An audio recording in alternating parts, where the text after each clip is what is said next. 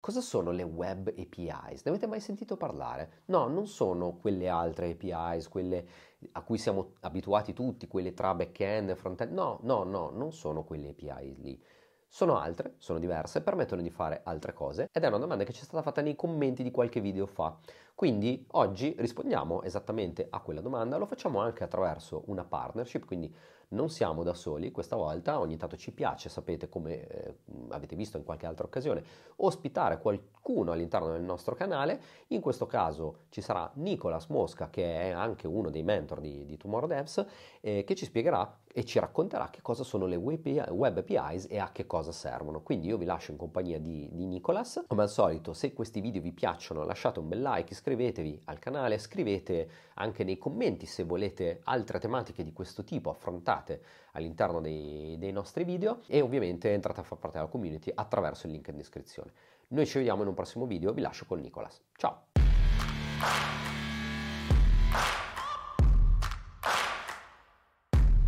Le web API, innanzitutto come termine, sta per web API che sta per Application Programming Interface, un'interfaccia che ti permette di dialogare con una certa funzionalità. In generale le API offrono dei metodi, delle funzionalità con determinati parametri che puoi richiamare e che ti semplificano la vita nell'integrare poi una determinata funzionalità senza andare poi a scoprire il codice dietro che show. Offrono dei metodi che ti permettono di interagire con qualcosa di nativo sul dispositivo che fa girare il browser. Ci sono diverse funzionalità che sono già state integrate che permettono di fare tante cose molto ma molto carine e con l'episodio di oggi volevo portarne una che ho scoperto io stesso guardando un po' le documentazioni e volevo un po' condividere anche con voi questa cosa. Le API che oggi andiamo ad esaminare insieme sono le web Share API. Sono delle API che permettono di poter interagire nativamente con il dispositivo, condividere in maniera più facile tutti i contenuti che generiamo sul nostro sito web, sulla nostra piattaforma. La cosa molto carina è che ti dà anche la possibilità di eh, condividere testo, link, addirittura anche file veri e propri e così ti dà la possibilità di togliere una complessità che comunque non era da poco perché prima di queste web API che cos'è che si poteva fare? Dei workaround che ti permettevano di raggiungere un risultato simile era quella di utilizzare i deep link, ad esempio mi viene in mente quelli di Slack, di Telegram, di WhatsApp, che permettono appunto tramite un URL specifico di fare in modo che il browser richiami l'app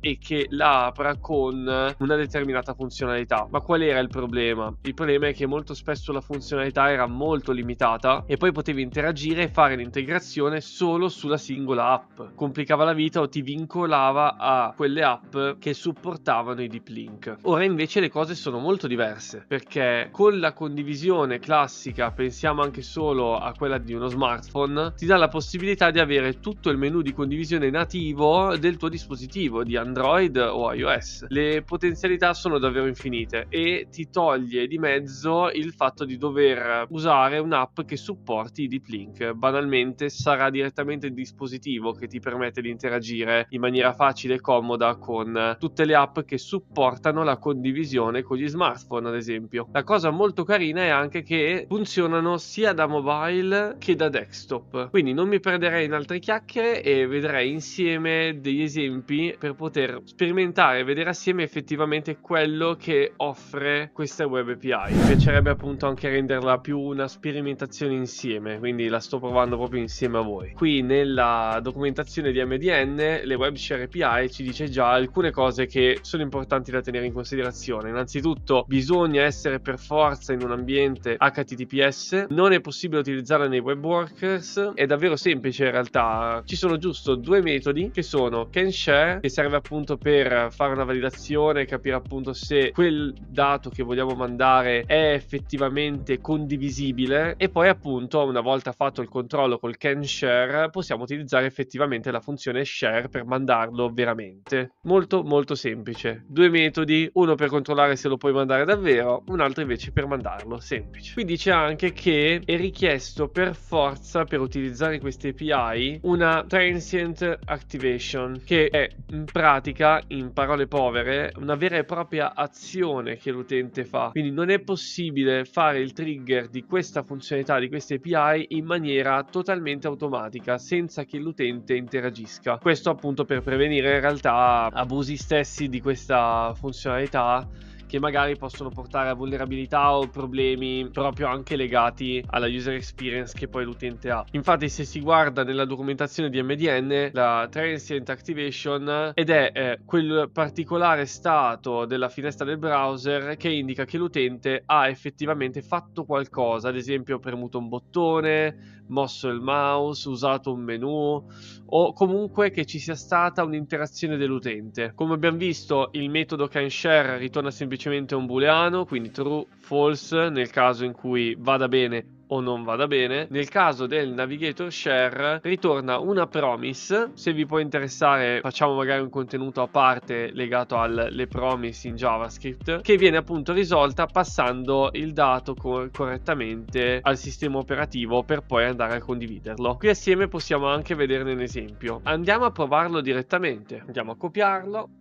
lo andiamo a copiare nel nostro file JavaScript e dobbiamo quindi creare un button, un tag button classico e una classe result. Quindi vado qui, button, clicca per condividere e poi una div class result dove poi andrà scritto quello che è il risultato finale. Torniamo quindi sul nostro ambiente in locale ed ecco qui il nostro bottone. Una volta cliccato ci permette lo share automaticamente di quello che era il contenuto. Nel caso dell'esempio parliamo appunto di un link, di un testo e di un title. Da cliccato ci permette appunto di mostrarlo qui a schermo e di poter definire come effettivamente utilizzarlo. Vedete che si può anche utilizzare le funzioni native ad esempio di Windows, in questo caso la condivisione delle vicinanze, quindi anche immagino ad esempio anche su Mac un airdrop o un altro metodo di condivisione, oppure appunto anche delle app che abbiamo installato direttamente nel nostro computer. Eh, io provo ad esempio Posta e vediamo che succede.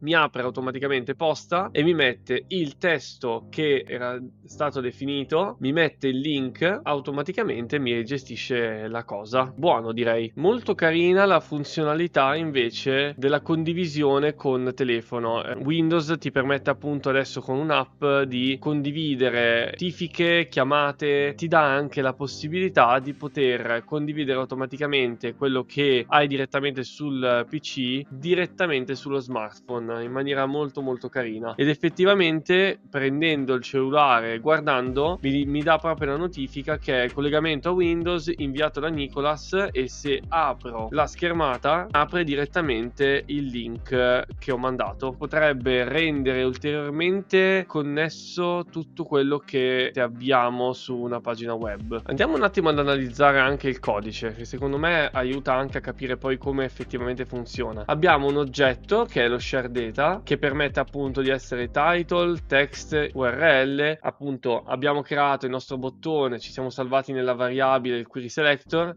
abbiamo salvato anche il div class result per poter definire quello che è effettivamente il messaggio da mettere a schermo in questo caso del test era mdn share successfully inoltre abbiamo l'add event listener per fare l'evento di click direttamente sul nostro bottone e fare in modo che esegua effettivamente qualcosa. Qui utilizza già anche delle funzionalità di S7 quindi la sync await per gestire il fatto che lo share sia effettivamente promise. Con un try catch si va a gestire già la casistica di errore quindi nel caso in cui lo share vada a buon fine semplicemente poi una volta fatto lo share andrà nella riga successiva e metterà il contenuto che vediamo adesso a schermo. Nel caso invece in cui ci sia effettivamente un errore semplicemente poi ti dice l'errore e il testo è in questione da qui notiamo anche un'altra cosa che nella documentazione stessa ti dice ma, ma non ti dice eh, effettivamente il metodo can share potrebbe tranquillamente essere evitato eh, perché già il comando share ti permette tranquillamente tranquillamente di provare a mandarlo e nel caso in cui ci sia un problema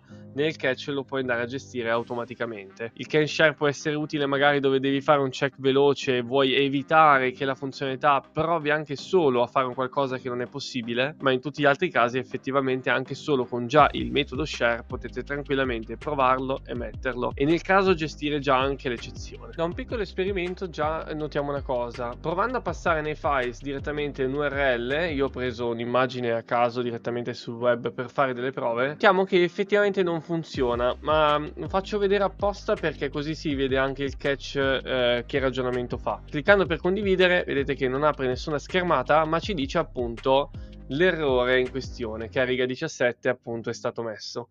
In questo caso è un type error proprio perché non si aspettava che mettavamo una cosa di questo tipo dentro i nostri array files e giustamente lui dice guarda non sono riuscito a leggere la proprietà files eh, perché non sono neanche riuscito a convertirlo come file quindi da qui capiamo che URL direttamente non vanno bene per questa funzionalità, non basta semplicemente avere l'URL. E adesso andiamo invece a vedere come è possibile fare una condivisione file. Ed eccomi qui con il codice modificato senza stare ad annoiarvi pro- nelle mie prove, ma vi riporto un po' tutte le cose che ho fatto finora in modo che siete allineati insieme a me.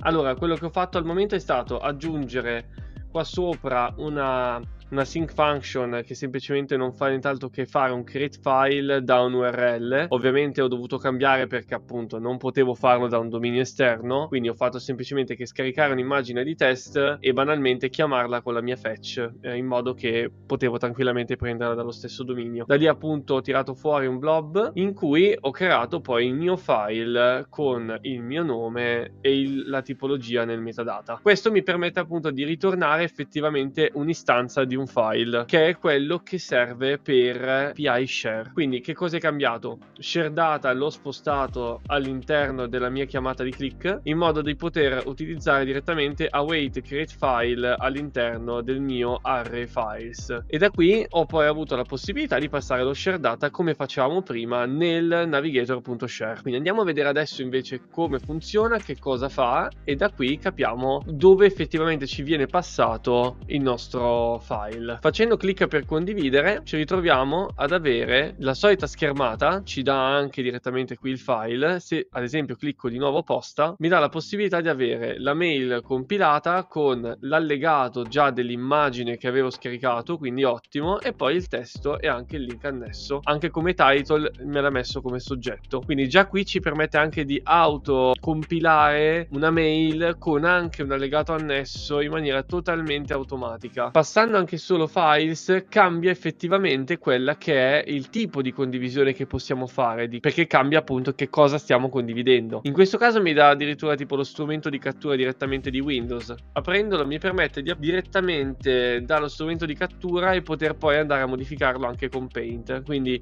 ti dà la possibilità di poter interagire meglio anche con le immagini. Abbiamo anche la possibilità di passare più file contemporaneamente, in questo caso non ho fatto nient'altro che mettere tre create file uno dietro l'altro banalmente per fare un test e andando a fare clic per condividere mi ritrovo nel, ad esempio nel mettere posta che mi carica tutti gli allegati insieme quindi comunque abbiamo anche la possibilità di caricare più allegati contemporaneamente. Ok mi sono fatto un po' prendere la mano ma ci tenevo un po' a lasciare anche una pagina di test che vi permette di poter provare tranquillamente con un semplice link che metto qui in descrizione poi tutte le funzionalità che abbiamo visto oggi. Ho semplicemente fatto una paginetta ho messo un po' bootstrap e ho un po' configurato il tutto per renderlo il più pulito possibile, poter permettere di testare un po' tutte le casistiche. Spiego al volo che la create file è rimasta identica, semplicemente ho parametrizzato passando sia il file che il nome che il tipo, quindi semplicemente fa quello che fa prima, ma ci permette appunto di almeno parametrizzare. Altra cosa, ho separato la on click button che ora appunto permette di fare una share data a seconda dell'id del bottone. Ho una serie di bottoni, vengono semplicemente inizializzati tutti con un clic, in base all'id viene preso l'oggetto in questione, viene messo nello share data e semplicemente viene utilizzato. Di qui ho ad esempio text, text link, image, pdf all e dall'altra in base alla chiave text, link, image, pdf all semplicemente lui prende e mostra a schermo quello che deve. In questo modo qui se faccio share di testo mi prende semplicemente solo il testo ed eccolo qui. Nel caso in cui faccio lo share di un link lo mostra in questo modo qui nel caso di un'immagine lo mostra così e nel caso di un PDF viene semplicemente mostrato come allegato. E lo share di tutto insieme lo fa tranquillamente mettendo negli allegati tutte le tipologie che ci sono senza nessun problema. Metto appunto il link eh, sia alla, alla repository pubblica di GitHub sia al link di Netlify per poterlo testare tranquillamente anche magari sui vostri smartphone. Così mi dite anche voi se funziona correttamente se ci sono problematiche che mi fa piacere appunto sperimentare insieme Sicuramente fatemi sapere anche voi che cosa ne pensate, se avete avuto modo di testarla, se avete visto dei pregi o difetti, mi farebbe molto piacere saperlo. Spero che il video vi sia piaciuto e ci vediamo al prossimo allora.